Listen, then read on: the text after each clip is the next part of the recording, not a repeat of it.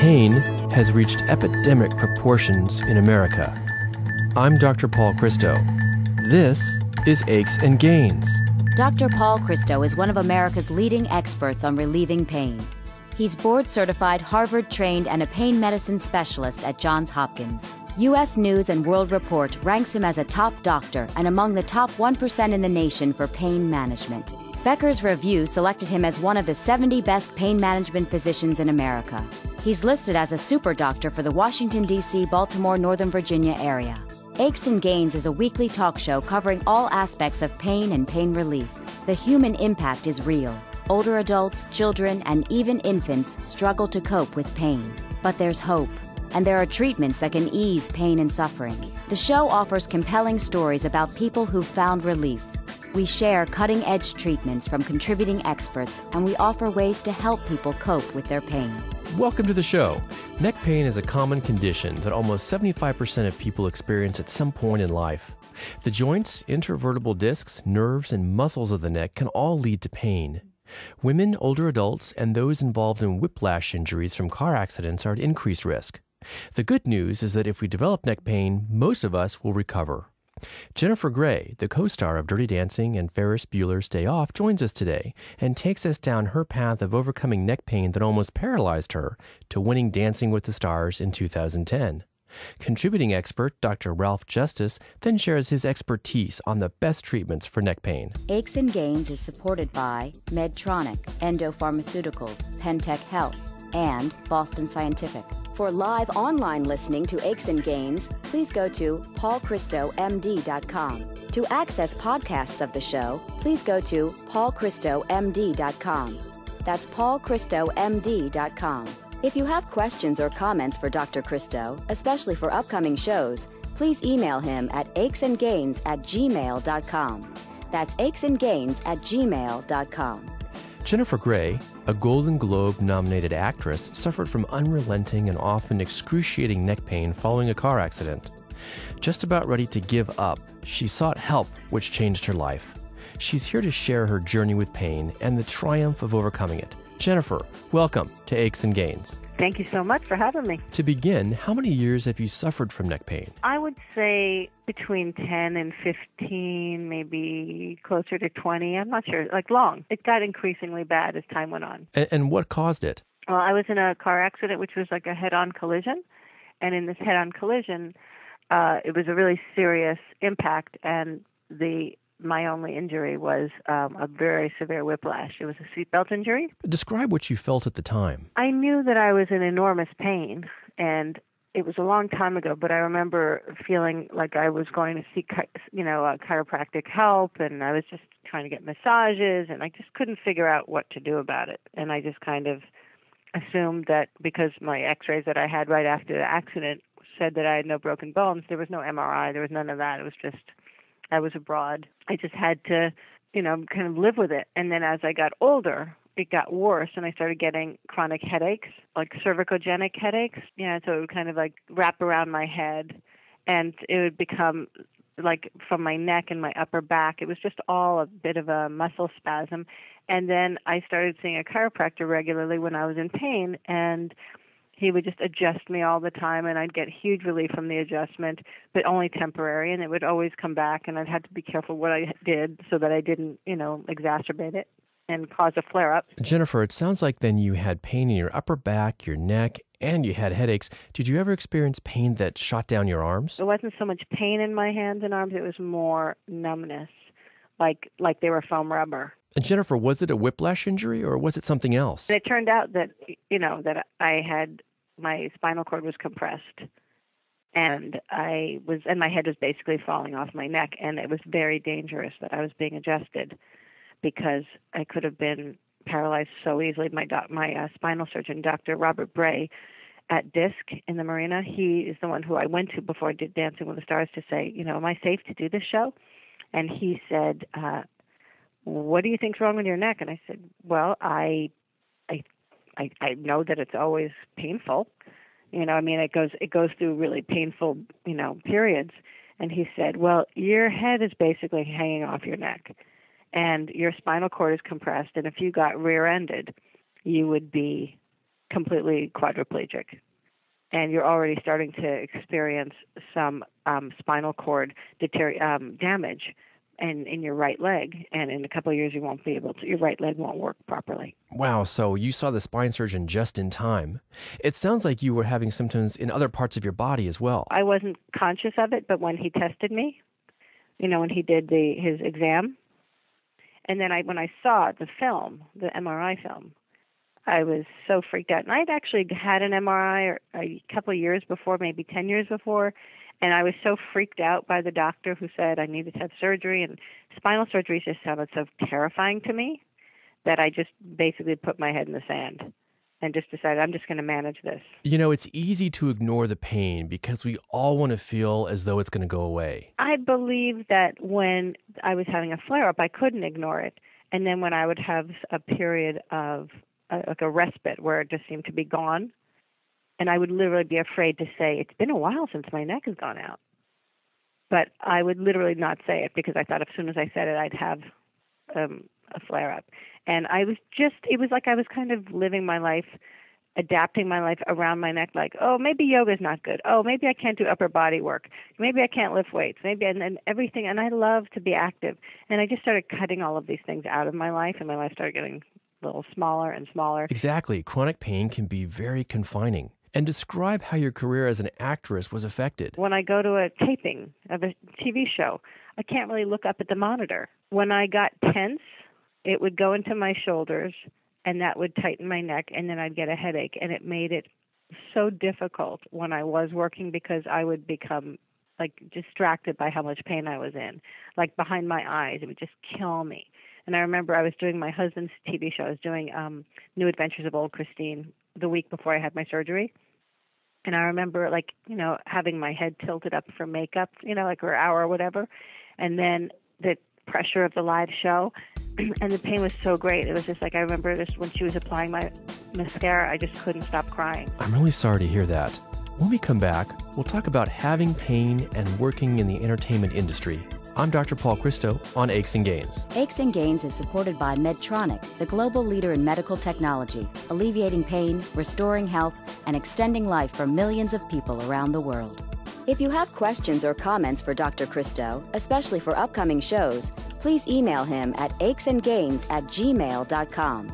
That's achesandgains at gmail.com. And we're back.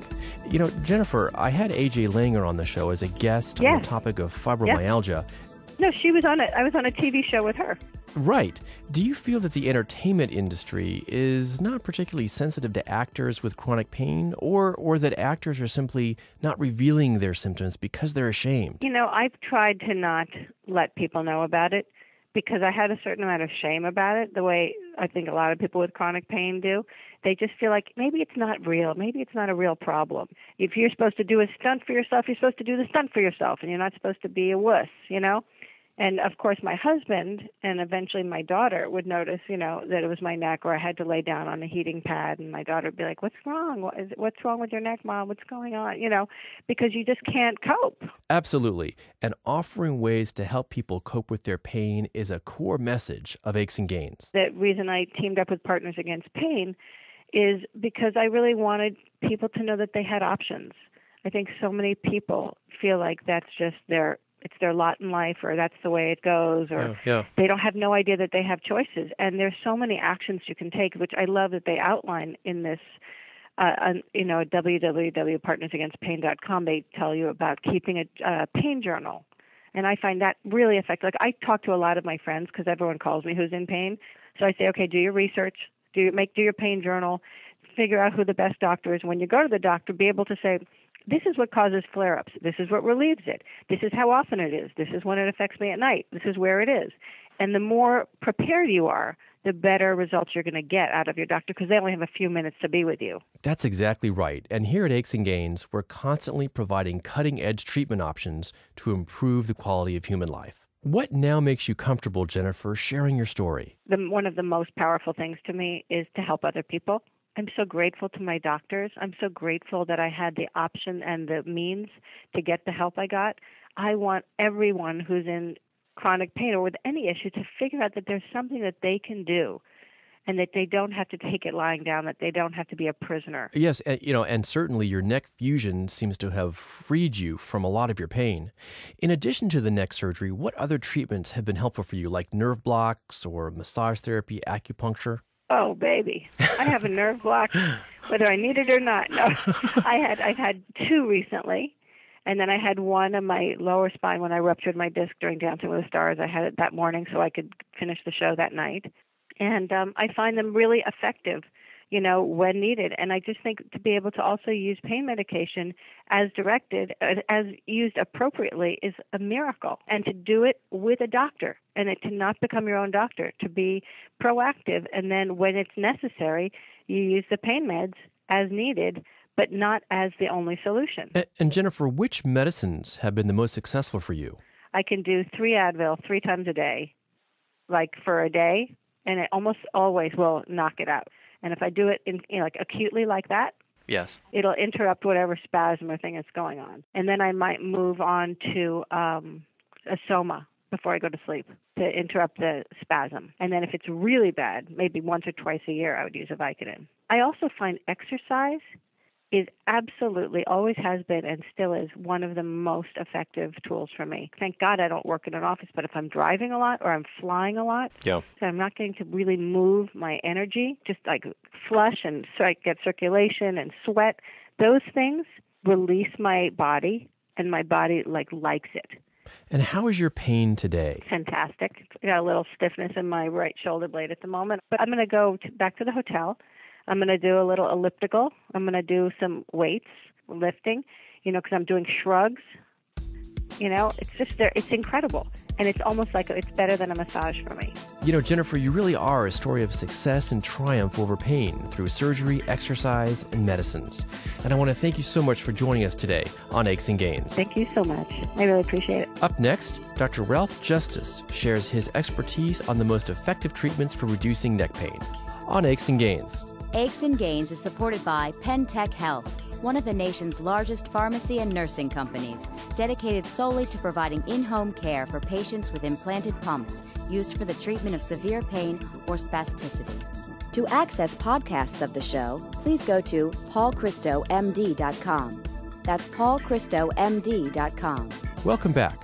Dr. Ralph Justiz is a pain medicine specialist in the Department of Neurosciences at St. Anthony Hospital in Oklahoma City. He was an assistant professor at Texas Tech University Health Sciences Center, is a lecturer for the World Institute of Pain, and has been an invited guest speaker on treating head and neck pain. Dr. Justiz, welcome to Aches and Gains. Oh, thank you, Paul.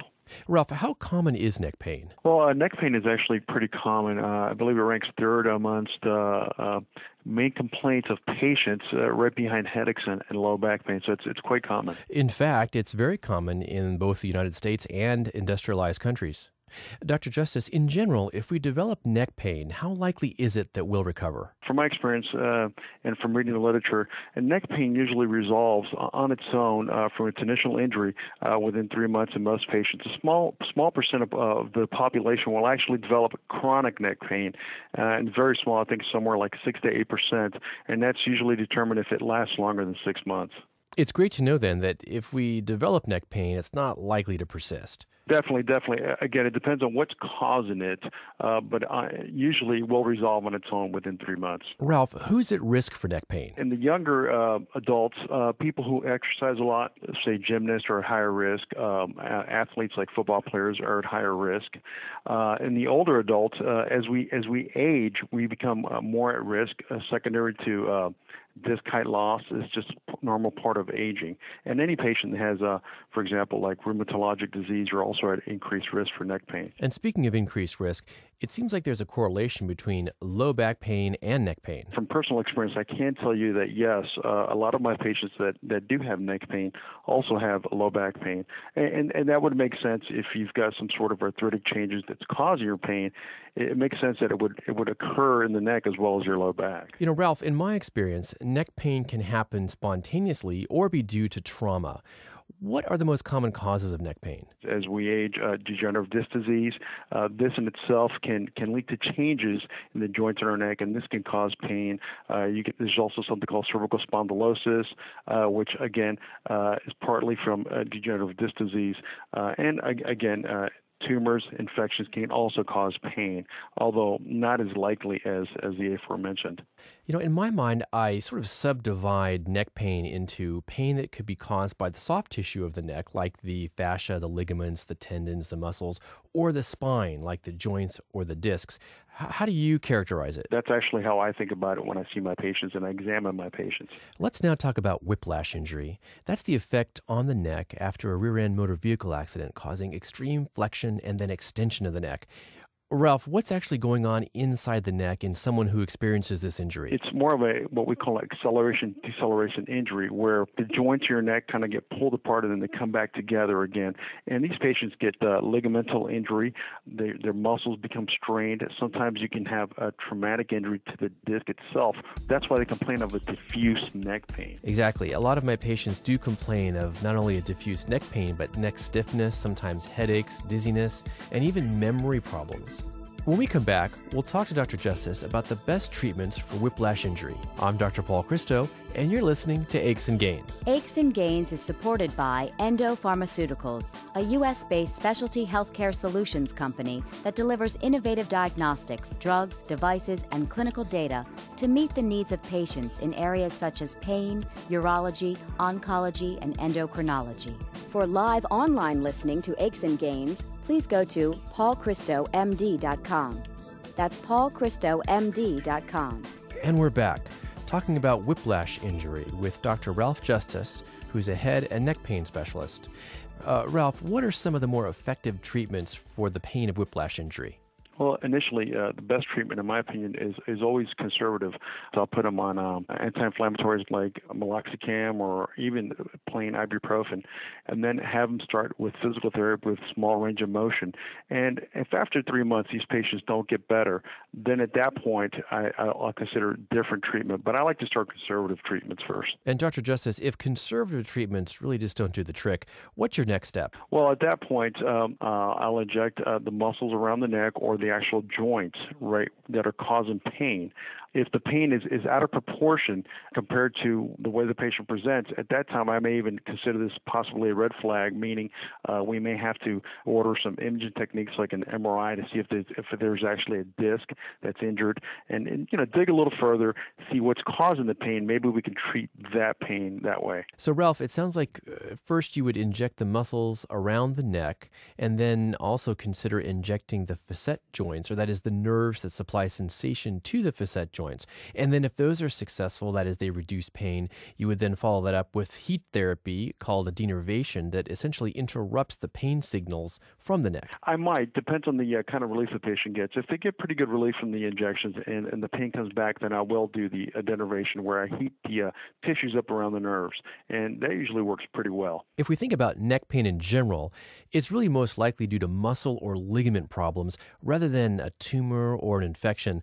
And, and speaking of those two, let's talk about some of the danger signs that, that patients present with that could signal a more severe problem in their neck. So a danger sign would be like uh, what we call like uh, decreased reflexes or, or decreased strength in, in one arm or, or the other arm or both, or something like pain shooting down one arm with, with what we call sensory changes if, if it's if it doesn't feel right or it feels different from the other arm.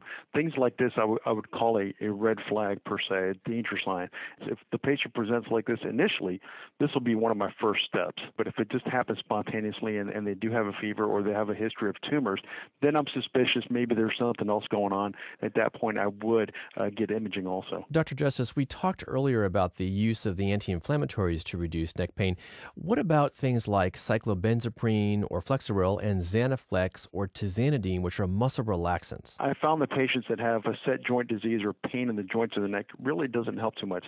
They do work uh, for more of an acute type injury, uh, for like a whiplash injury, but for chronic neck pain, I haven't found uh, that they work very well. We were just speaking with Jennifer Grey, who told us that she uses Soma to help treat her neck spasms. What is your experience with Soma? You know, uh, a lot of patients like Soma. I don't like to use Soma because it has a metabolite, uh, which can't build up in your system. So I, I try to avoid Soma at all if I can. Ralph, let's next talk about neuropathic neck pain and the drugs that can be useful for them, like specific antidepressants or anticonvulsants. I'll try like amitriptyline or nortriptyline, which has a little better side effect profile.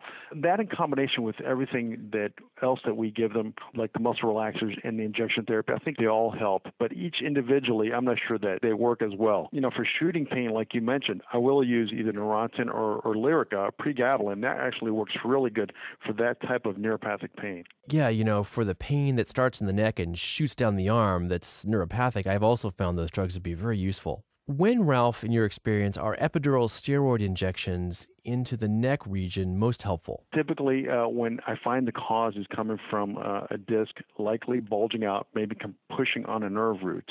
Um, these patients typically present with pain that shoots down the arm, so this is when it's more, most often I think it works the best. In addition to epidural steroid injections, I think spinal cord stimulation can be quite effective in reducing that pain that starts in the neck and shoots down the arms. You know, Jennifer Grey mentioned that she had significant spinal cord compression, and as a result, result, had cervical fusion or, or neck surgery that really benefited her. What do you tell patients who ask you about neck surgery? Um, first, we look at the films, and, and I'll, I'll, tell them I think this is possibly something that's correctable with surgery or not correctable. Uh, at that point, I would send them over to the surgeon. But prior to sending them, I always tell them, um, you know, you know, if you're not having some sort of as we mentioned earlier, some sort of weakness or, or sensory changes, uh, you know, the surgery itself may not take that away. In fact, it may actually worsen your pain. Uh, maybe this is something we can we can try to fix uh, with with stimulation. Um, if we can't fix it, you know, we could do the trial. If the trial doesn't work, then you could always try to see the surgeon but uh, I, I, I, try to keep my patients away from neck surgery. So, Ralph, wrapping up, what's the most important message for those with neck pain? Well, the most important message is, you know, give it time. Uh, see if, if, if it will resolve. Uh, if if you get into some sort of um, injury, like a whiplash injury, a car accident, something like that, uh, give it a little time. Go see your primary care physician. Try simple medications. Uh, try physical therapy. Uh, try to increase your range of motion in your neck. Think, make your muscles stronger. Give it time. If after three months you're not getting better, at that point, seek medical help. Uh, see a pain management specialist or, or possibly even a, a surgeon, um, and then they let them treat your your pain.